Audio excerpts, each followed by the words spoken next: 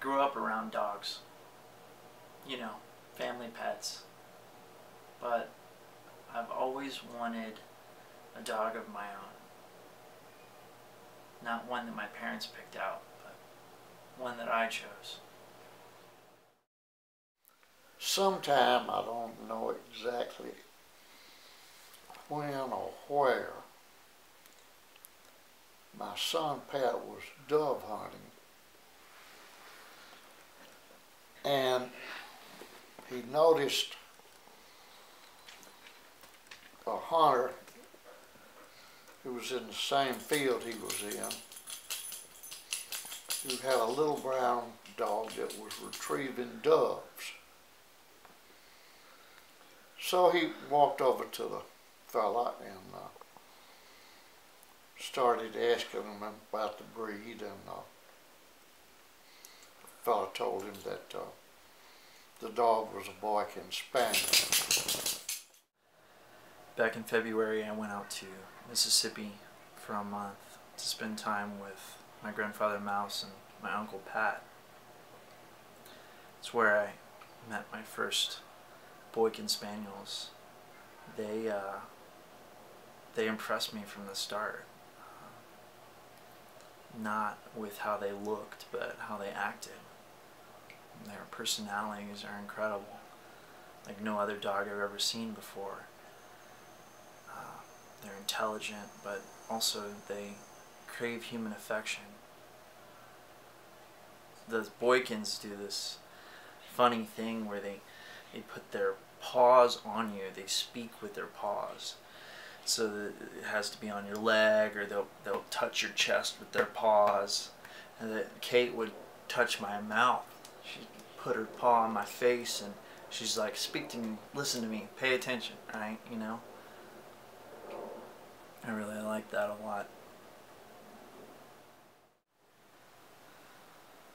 A couple months after I got back from Mississippi, my Uncle Pat had another heart attack and he was in the hospital in New Orleans waiting for a heart transplant and my family flew me out there to be with my grandfather and try to help out as much as I could. A few days later he died and about a month after that Angus, my uncle's dog, got hit by a car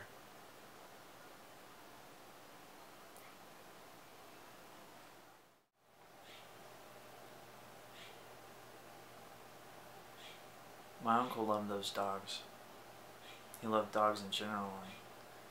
He was really great at training them. I remember when we took Angus and Molly to the beach one day in Ocean Springs, Mississippi, and let them run. Angus chased birds up and down that beach all day if you let him. He would go looking for the biggest stick that he could find and run after you, set it in front of you, and wait for you to pick it up and throw it for him.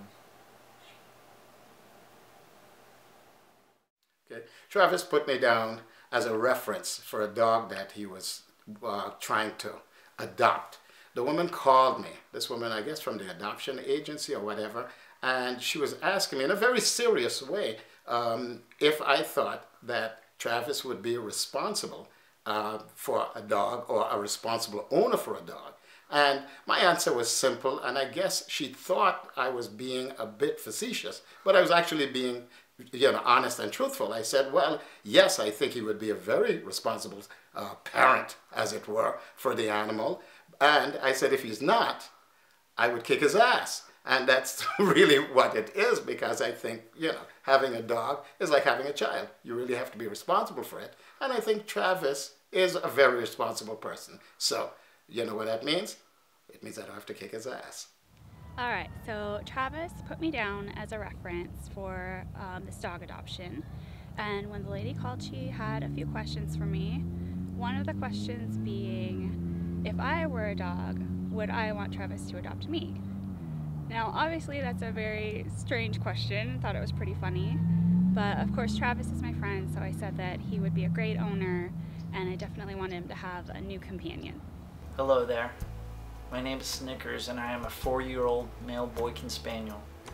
I hope you love getting puppy kisses because I love to give them away. I am quite possibly the sweetest Boykin Spaniel you've ever met, which is a tall order, I know.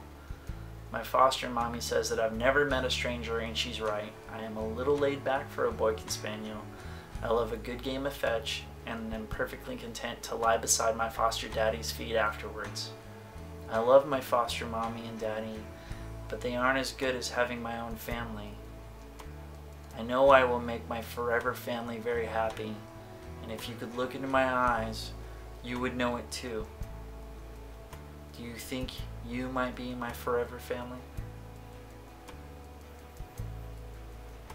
Hi Valerie, my name is Travis Mills. I have um, submitted my application to the Boykin Rescue Society and been approved by uh, the Western Coordinator. I'm out in Arizona, but I was reading the profile for Snickers and I uh, would be really interested in talking with you um, about Snickers and um, just what, what, you know, just asking you some questions. I spoke with Snickers' foster mom on Saturday a woman named Valerie in Georgia. She told me a lot about him. And she said that even though a lot of families have expressed interest in adopting him, that I honestly seemed like the perfect fit, which was great to hear.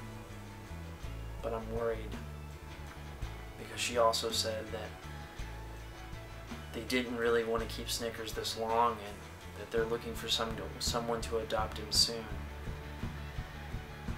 See, I'm supposed to go out to Mississippi in October for my uncle's memorial service, and that's when I wanted to get a dog. I don't know if I can pull it off sooner than that. I'm moving into a new house and I'm making a lot of films right now. I'm very busy. So I have a hard decision to make. Do I go out there? Do I find a way to go get Snickers now? Or do I wait and take my chances? Some other family might come along and, and be perfect for him too. My aunt says that a dog is a dog, but that's not true. Is a human a human? There's certain people, certain living things that we connect with more than others. It's been about a month, and in that time, I've moved into the house where hopefully the dog that I adopt will be living in with me and my roommate, Michael. I've contacted many foster parents about their dogs. First, there was Snickers, who seemed like the perfect fit, but unfortunately, right now, he's suffering from heartworm disease and I'm not allowed to adopt him until he's cured. There's also Rhino, who is being fostered in South Carolina right now. He's a cute dog, and I was very tempted to pursue adopting him, but for some reason I can just feel in my gut that it's not the right fit. But today, I spoke with a woman in Texas by the name of Amy about a dog named Kid. He's two years old, very active, affectionate, but also obedient. He honestly sounds like he would be the perfect companion for me. And now, after talking to Amy for 30 minutes to an hour about him, it's just a waiting game. There are some other people too that are interested in, in adopting Kid, and Amy may choose them over me. That's a possibility I have to accept. So for now, I'm waiting to find out if Kid will be the dog that I adopt. And if so, then I'll drive to Texas to go pick him up. I got an email yesterday from the woman in Texas who has the dog Kid that I wanted to adopt. She gave him to another family. which is good. I I hope she picked the right one. I really do. I feel like the really good things in life don't come easy. Maybe they shouldn't come easy. You gotta fight for them. You gotta struggle. I have to remind myself of that. But in the end, I'm happy it's that way.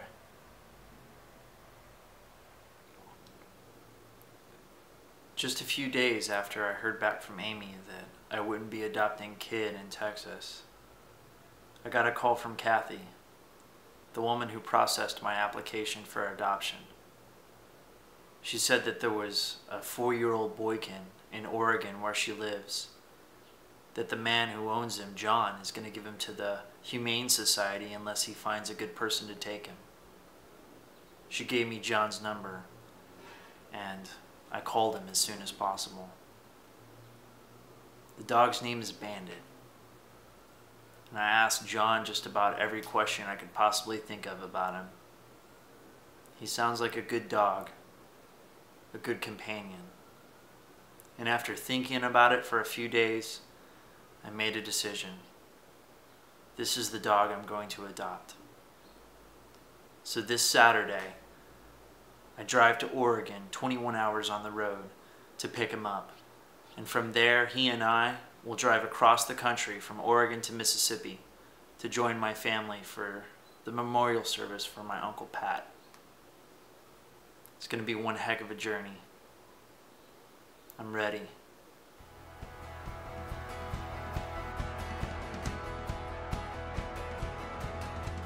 Last night I left Arizona.